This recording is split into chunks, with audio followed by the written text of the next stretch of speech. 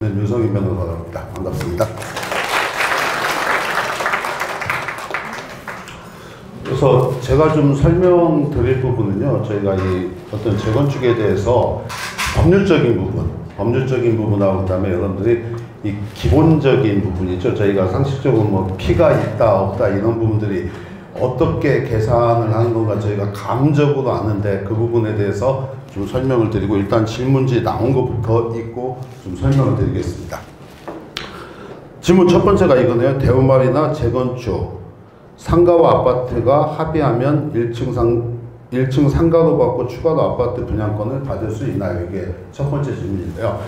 여기서 좀 말씀드리면 저희가 재건축과 재개발을 좀 구별하셔야 됩니다. 저희가 재개발은 어느 경우에 하죠?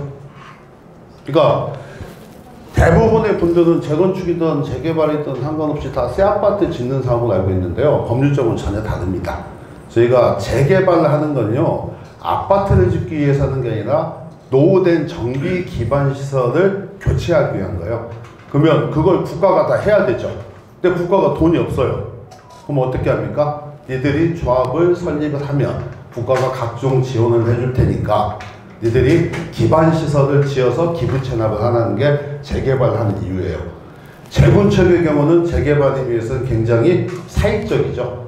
그러니까 재건축도 물론 이제 저희가 단독주택 재건축이라는 부분들인데 그것들은 대부분 어떤 거냐면 기반 시설이 노후도가 안 되는 것들이죠. 그 다음에 아파트 재건축인 경우는 전에는 도시 및 주거환경 정비법이 아니라 집합건물법에 의해서 했죠.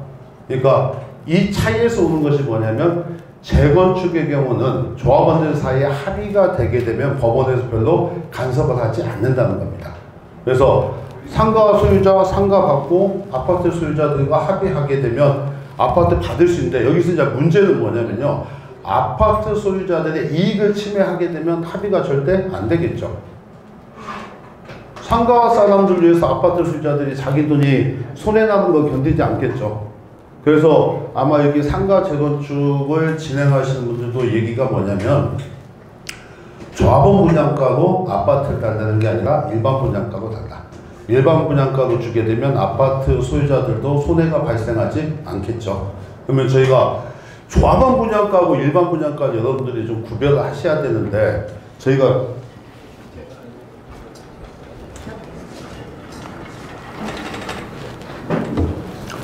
이 나온 김에 좀 설명을 드리면요.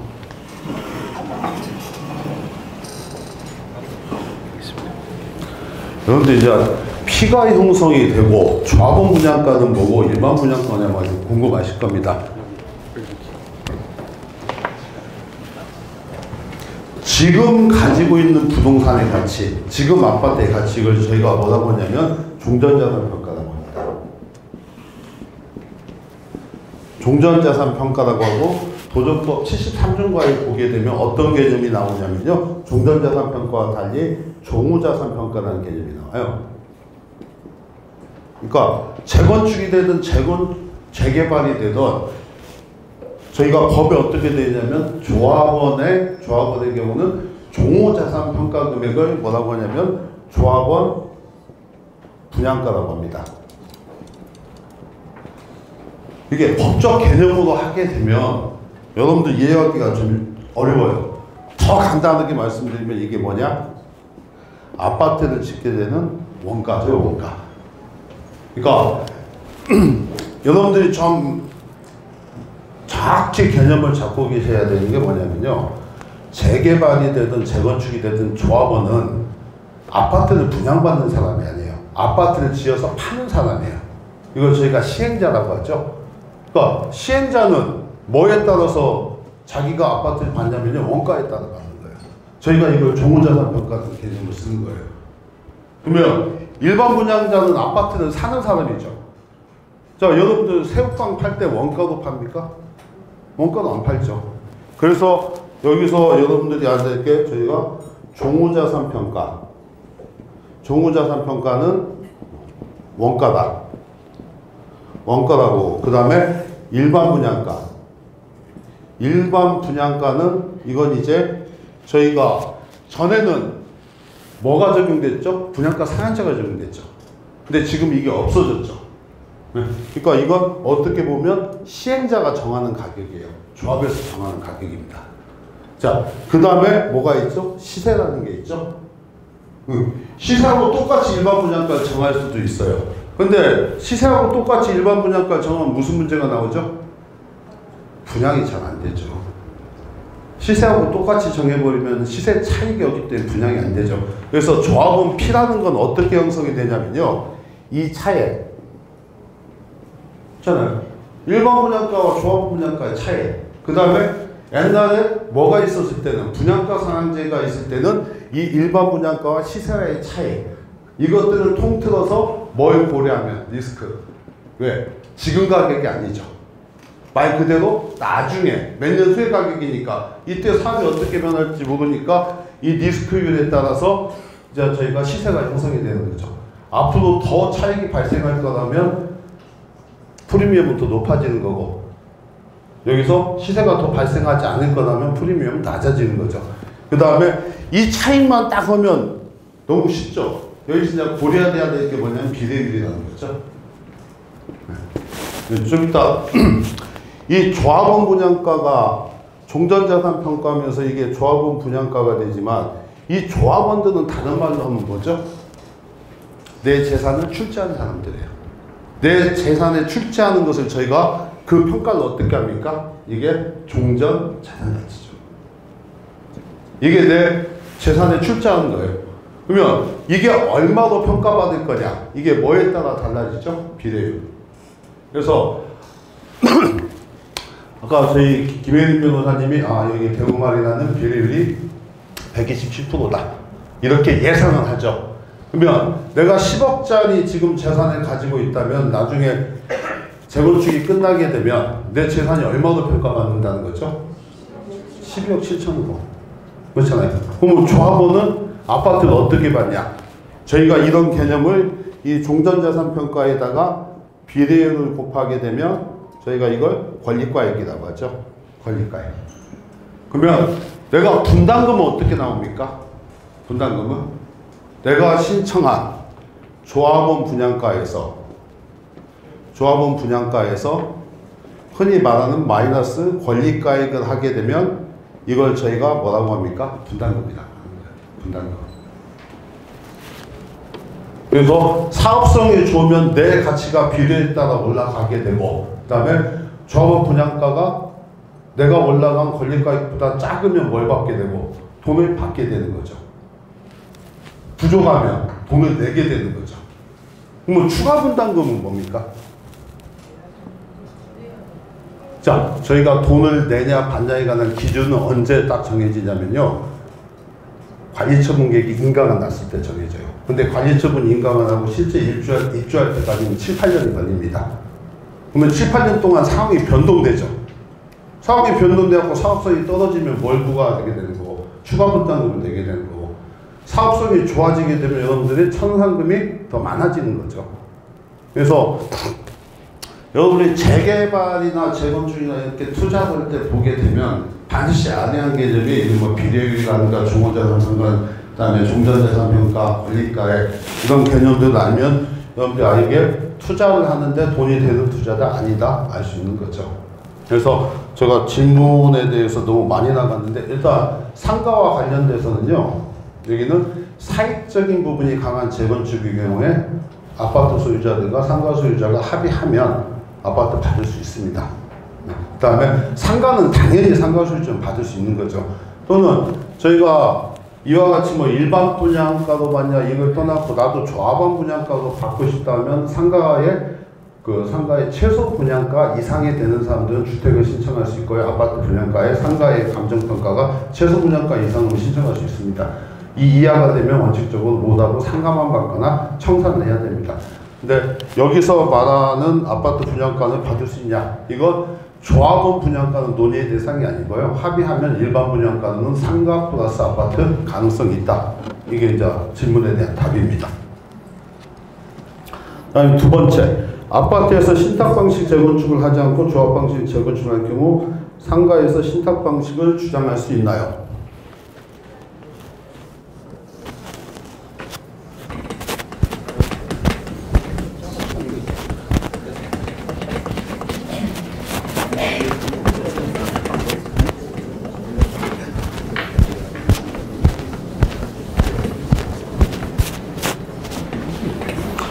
저희가 이게 가능성을 보신다면요. 이 아파트를 보셔야 되는데 저희가 아파트 여러분도 혹시 등기 띄워보신 분 계시죠? 등기되면 등기가 딱 띄워보면 뭐가 나옵니까? 아파트의 경우는 다 뭐가 나오죠? 대지권. 네. 땅이 몇 평 가지고 있다가 아니라 전체 땅에 대한 비율이 몇 프로다 이렇게 나오죠. 이 말은 지금 뭐냐면요. 통상적인 경우 아파트는 하나의 필지에 하나의 필지에 여기 아파트도 있고 뭐 상가도 있고 하는데 이 사람들은 대지는 다 뭘로 비율로 가지고 있어요. 그러면 이와 같이 하나의 필지이기 때문에 사업의 주체도 원칙은 원칙은 이 필지 하나에 있어서 아파트 플러스 상가가 하나의 사업 주체가 되는 게 원칙입니다. 하나의 사업 주체가 되는 게 원칙이에요. 그래서 하나의 사업 주체가 됐을 때 할 수 있는 것은 하나의 조합에 하나의 조합에 저희가 계산만 별도로 할 수 있어요. 이런 걸 저희가 다른 말로 하면 독립 재산제라고 합니다. 근데 이렇게 하나의 조합에 하나의 땅에 여기가 상가의 조합과 아파트 조합이 별도로 생기게 되면 이건 독립재산이 아니라 재건축 자체를 독립해서 하는 거예요. 그러면 이때는 조합이 몇 개가 생깁니까? 두 개가 생기는 거죠. 자, 그래서 여기서 질문을 보시게 되면 아파트에서 신탁 방식 재건축을 하지 않고 조합 방식 재건축할 경우 상가에서 신탁 방식 주장할 수 있냐? 자, 헤어져야 됩니다. 두 개를 만들어야 돼요. 무슨 얘기인지 아시겠어요? 이와 같이 하나의 조합으로 진행하는 경우에는 아파트는 조합 방식, 상가는 신탁 방식 안 됩니다. 네.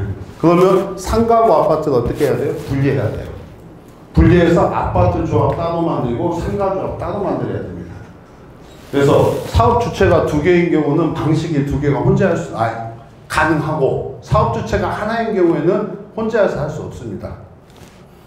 그래서 이게 답이 됐는가 모르겠고요. 그래서 원칙적으로 조합이 하나가 생겨서 아파트와 상가가 하나의 조합으로 묶어진 경우는 아파트 쪽은 조합 방식, 상가 쪽은 시탁 방식이 안 됩니다. 이거 하려면 어떻게 해야 된다? 그냥 이혼해야 됩니다. 아파트하고 상가 이혼하면 됩니다. 그 다음에 세 번째 질문이 상가 아파트가 협의가 안 될 경우 아파트 소유자는 다수인데 몇 안 되는 상가는 재척이나 청산하고 재건축을 할 수 있나요? 똑같은 질문이거든요. 헤어지는 방법이 뭐냐? 헤어지는 방법이 아파트에서 상가를 그냥 너 나가라 그냥 그건 아니고요. 헤어질 때는 어떻게 하면 재산분할 해서 해야 되겠죠. 그래서 저희가 상가가 조합을 별도로 만들고 그 다음에 아파트가 별도로 만들면 돼요. 근데 이게 쉽지 않아요. 이게 하나의 필지입니다. 하나의 필지. 땅을 나누려면 어떻게 나눠야 돼요? 상가 쪽에서 나 못 나가겠다 하면 공유물 분할 소송을 해야 돼요. 공유물 분할 소송을 해가지고 이걸 나누는 방법이 있어요. 옛날에 왜 이게 법에 들어왔냐면요. 상가 쪽에 동률이 안 돼가지고 조합 설립이 안 되는 경우도 굉장히 많았죠. 네. 그래서 법에서 이와 같이 분리할 수 있는 방법을 만들어 놨어요. 근데 이게 일반 민사의 경우는 공유물 분할 소송에서 합의가 안 되면 어떻게 하는지 아십니까? 합의가 안 되면 합의가 안 되면요 이거 전체 경매 넣어가지고 가액 배상 분할을 거예요. 근데 이거 경매 넣는다고 해서 떠갈 사람이 있을까요? 떠갈 사람 없어요. 그러면 사실상 이렇게 끝까지 가게 되면 물론 이제 법원에 가면 법원에서 뭐 조정도고 장기간 되게 되면 분리가 되겠죠. 근데 장기간 분리하다 보면 장기간 이게 분리하는 과정이 거치게 되면 아파트가 되든 상가게 되든 다 사업성이 망가져 버립니다. 사업성이 망가져 버리기 때문에 사실상 합의하지 않고 분리하는 방법은 그 법률적으로는 가능한데 사실상은 좀 불가능하다. 그래서 여러분들 보시면 보통 저 음아파트 굉장히 유명하죠. 거기도 상가가 굉장히 많은 편이에요. 거기도 합의서 써가지고 겨우 조합 설립했어요. 음아파트가 추진이만 한 10년 넘게 됐어요. 이유가 뭐냐면요. 상가 쪽 동별 동률이 충족이 안 되니까 계속 조합 설립이 안 되다가 최근에 합의를 했습니다. 근데 왜 그럼 상가하는 사람들은 아 일단 조합 설립 한 후에 도와줘서 조합 설립하지 왜 이렇게 싸우냐? 무슨 문제 때문에? 조합이 설립이 되면 사업의 진행은 뭐에 따라 진행되죠? 이거 미- 책에 나오잖아요. 민주주의. 민주주의 원칙은 뭡니까? 다수결. 다수결. 그럼 아파트 소유자가 많습니까? 상가 소유자가 많습니까? 아파트 소유자가 많아요. 그래서 명확히 합의가 되지 않은 상태에서 조합이 설립이 돼버리면 상가 쪽에서는 아무리 주장을 해도 받아들여지는 게 없겠죠. 이해관계가 똘똘 뭉쳐있기 때문에. 그래서 통상적으로 이 민주주의 다수결 때문에 조합 설립이 되기 전에 상가 쪽에서는 자기 권리를 확보하고자 하는 겁니다. 그리고 전에는 이렇게 확보를 했음에도 불구하고 나중에 관리처분 계획에서 내용을 바꿔버리면 상가 사람들이 흔한 말로 엿대버렸는데 지금은 조합 설립 전에 합의서를 쓰고 공정을 받고 하면 사법상규력이 있다는 판례가 나오면서 상가 쪽에서는 무조건 설립 전에 자기들 주장을 관철시키려고 하겠죠. 그래서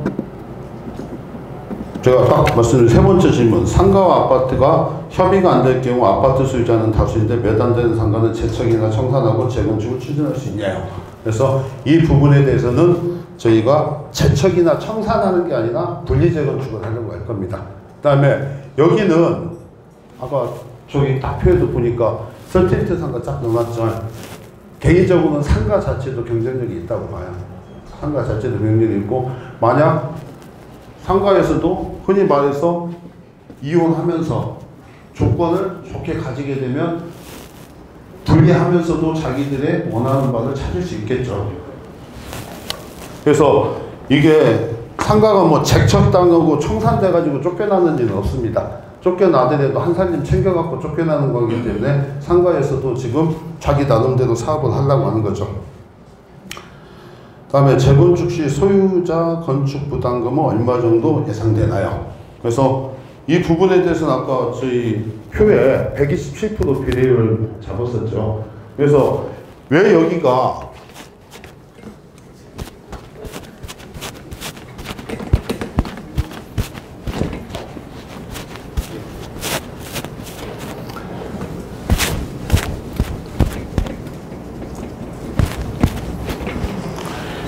일단 이 아파트 가격은 제일 중요한 게 뭡니까?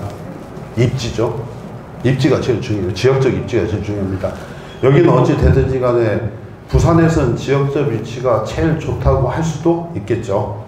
그러면 여러분들 얼마 부담되냐 이거 제가 뭐 숫자상 나온 거 저희가 만들기 때문에 여러분들이 다 믿지도 않아요. 그러면 여러분들이 생각하시면 돼요. 지금 용적률이 120, 192%입니다. 이게 3종 주거지구 300%까지 늘 수, 늘어나죠. 그러면 108%의 용적률을 가지고 이게 뭐가 되니까 일반 분양이 되죠. 네. 그러니까 일단 새로 재건축을 하면 뭐가 나옵니까? 팔 것이 나와요. 네. 근데 이 양이 작지가 않아요.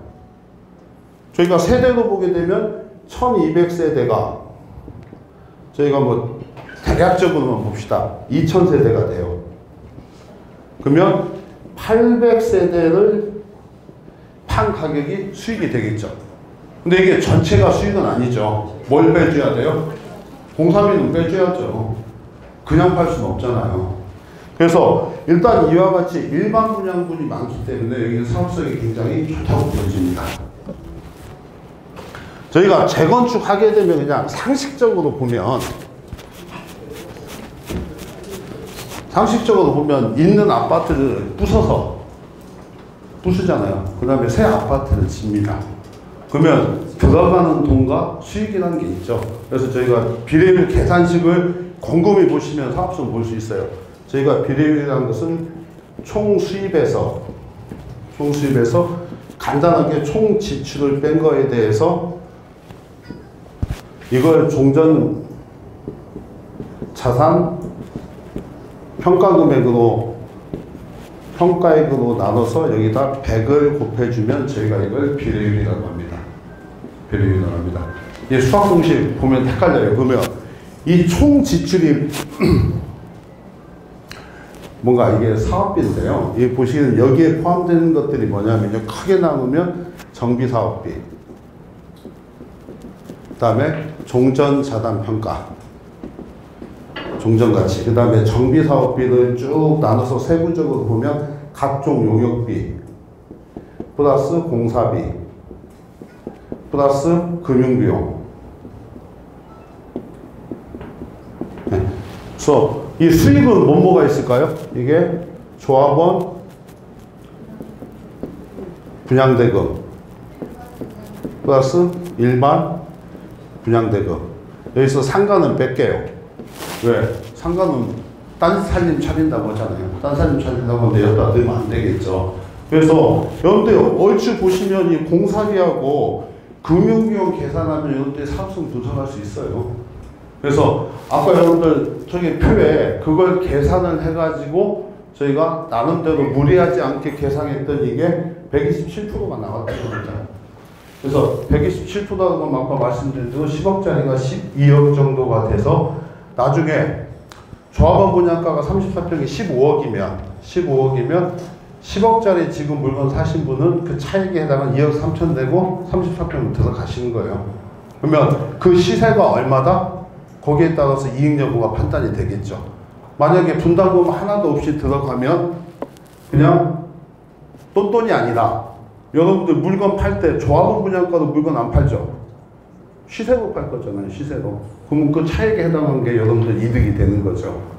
그래서 사업성이 나쁘지 않습니다. 자, 여기가 이제 네 가지 질문지 받은 거고 혹시 이 외에 궁금하신 거 있으면 물어보면 준비가 안 됐어도 답을 해보겠습니다. 근데 대우 대우 아니라 1, 2, 3, 4 이렇게 같이 이렇게 있는데 왜 3, 4는 빠지나요? 아, 그건 제가 한 게 아니고요. 4번 하신 분이 대우말이나 1차, 2차 재건축이라고 해서 그 후에 저는 아, 컨설팅으로 왔기 때문에 이유는 모르는데 아마 안정진단 때문에 그런 것 같아요. 이게 건축을 지은 연도가 다르기 때문에 3차까지 끼게 되면 그 연한이 안 된 거죠. 아마 저는 그렇게 생각합니다. 사고 보는 사람한테 물어보진 않았는데 그렇게 생각합니다.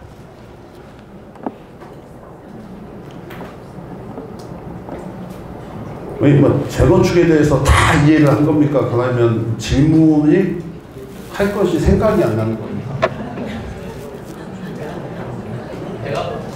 아, 배가 고프셔서 그렇습니까?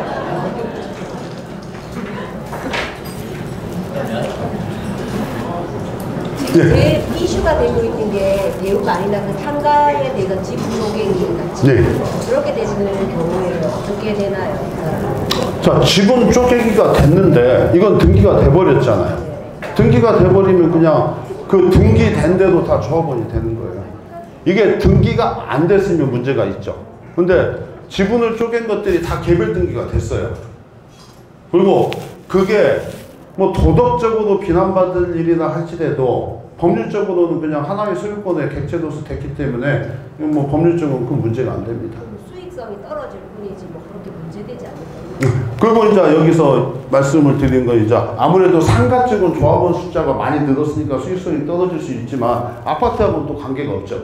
왜냐면 아파트하고 상관없이 우리는 딴 살림 차려서 계산하겠다는 거잖아요. 한 집에 한 집은 두 가족이 되겠다는 거기 때문에 여기는 그 수익성과 관련해서는 아파트 재건축에는 수익성에 전혀 영향을 미치지 않죠. 그 상가가 그 지금 좀 작은 게 갖고 있을 경우에 또 지금 아파트를 하나 받는다고 뭐이 아파트 쪽하고 협의가 아, 지금 저희가 협의를 하려면 상가 재건축 추진위원회, 아파트 재건축 추진위원회가 만들어져야 저희가 협상을 할 때는 항상 뭐가 있어야죠? counter partner가 있어야죠. 근데 지금 counter partner가 없잖아요. 그러니까 이거 이제 진행하면서 뭐 속된 말로 얘기하면 상가 쪽에서 알박이죠. 나 이거 인정 안 해주면 재건축 동의 못해. 이 형태로 가게 되는 거죠. 그러면 이게 그런 거죠. 많은 사람들은 사촌이 논 사면 배가 아파요. 근데 그건 별로 내 인생에 도움이 안 돼요.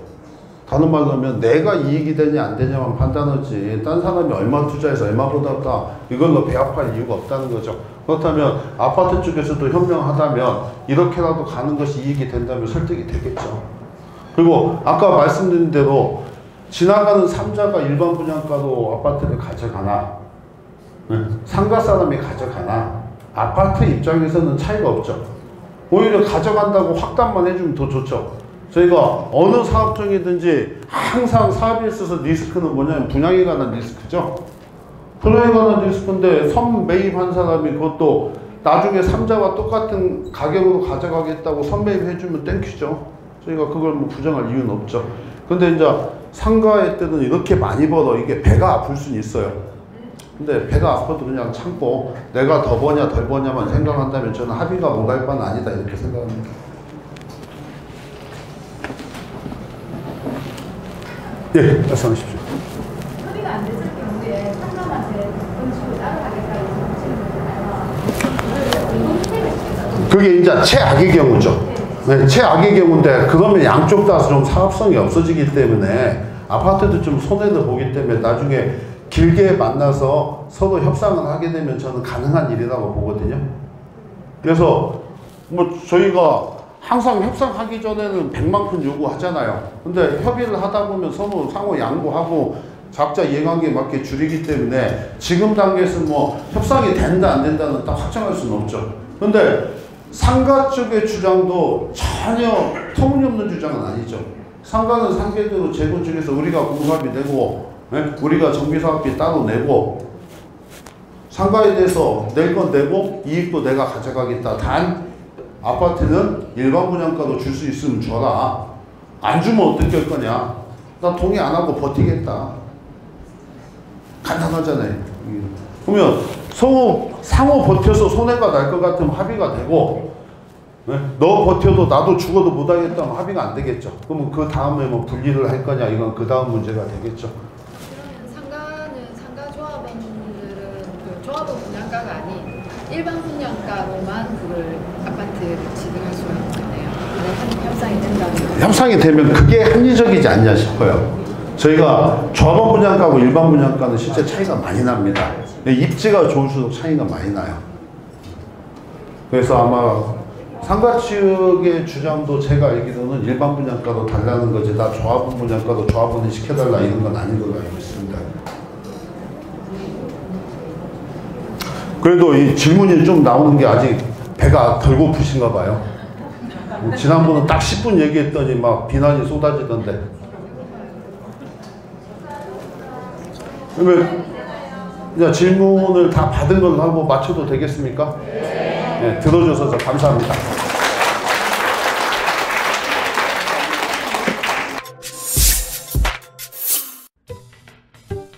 좋은 차를 사기 전에도, 이사를 가기 전에도, 크게 다치기 전에도 항상 미리 대비를 해놓는데 부동산은 왜?